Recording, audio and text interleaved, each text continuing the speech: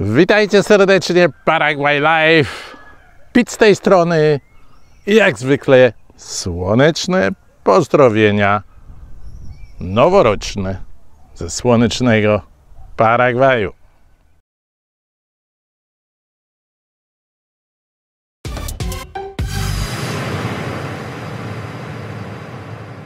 W pełnym słońcu dzisiaj z rana, więc tylko króciutko, żeby się nie zapocić.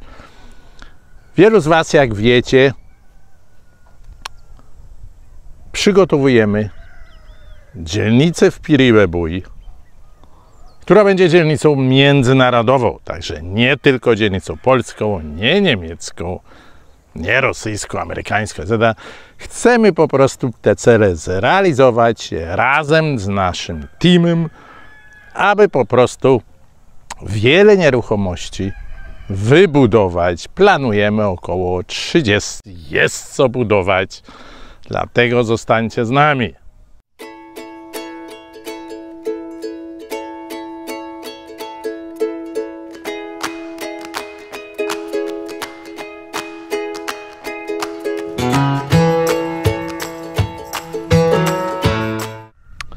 Wielu z Was się pyta, Zbyszek, Pit, ty to masz dobrze, fajnie, słoneczko, pogoda, nie masz dużo do pracy, a my tu w Polsce, czy w Europie, czy w Stanach Zjednoczonych męczymy się.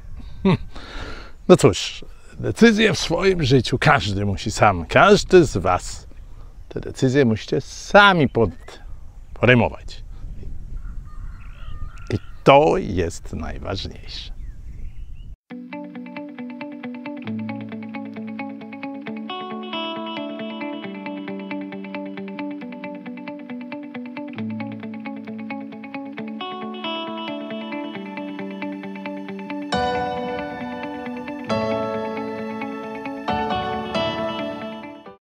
Jest wiele możliwości inwestycji pieniędzy. Ja zawsze to robiłem za pośrednictwem nieruchomości.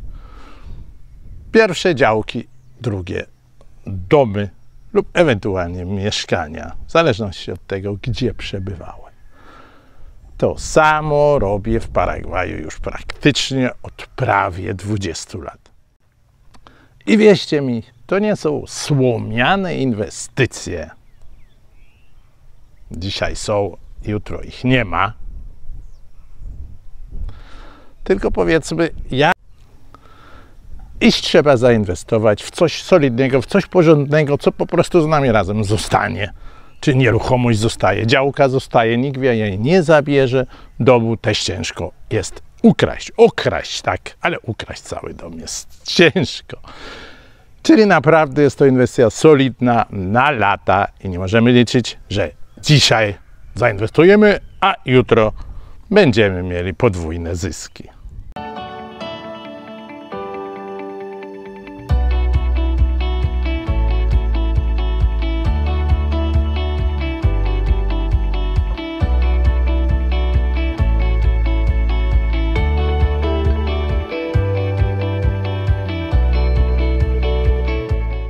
Dlatego zachęcam Was serdecznie do inwestycji w nowym roku 2022, bo czas leci szybko, a inwestować musicie.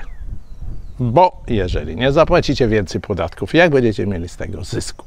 A więc warto tutaj przy Piribebuj w Paragwaju zainwestować pieniądze, jeżeli nie macie zamiaru się przeprowadzić na stałe.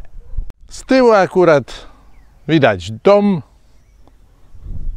który będziemy w styczniu kończyć. Także kończę, że po pod koniec stycznia, połowa lutego dom ten będzie gotowy pod klucz.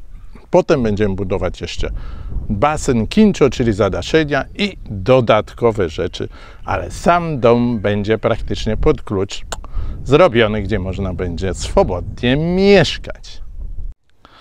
Mamy, jak już wspomniałem, standardowe domy 12 na 8 lub 12 na 9 co jest mniej więcej 100-110 metrów kwadratowych w zależności od wielkości domu. Takie domy z trzema pokojami, z pokojem oraz łazienką nadają się elegancko do zamieszkania lub też pod wynajem. Dlatego na pewno warto jest to zrobić.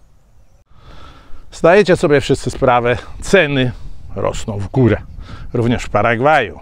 Teraz aż się za głowę złapałem, mając bezpośredni kontakt z Polską, jak ceny poszły w górę właśnie od stycznia 2022. Dodajcie do tego inflację, czyli wasze pieniądze są dużo mniej warte. Czyli zanim dużo myśleć, zadzwońcie, skontaktuje się z nami, z naszym teamem Paraguay Live Team. Numer telefonu oraz maila pod spodem, tak abyście zdążyli jeszcze w odpowiednim momencie. Tak więc, jak wideo się Wam podobało, jeżeli macie pytania w związku z Paragwajem, w związku z inwestycjami, czy przede wszystkim w związku z nieruchomościami w Paragwaju, proszę chętnie zadzwonić lub pisać na e-maila. Lajki na górę, subskrybujcie kanał, dzielcie się na Facebooku, na Twitterze, etc., etc. i zobaczymy się w następnym 元気元気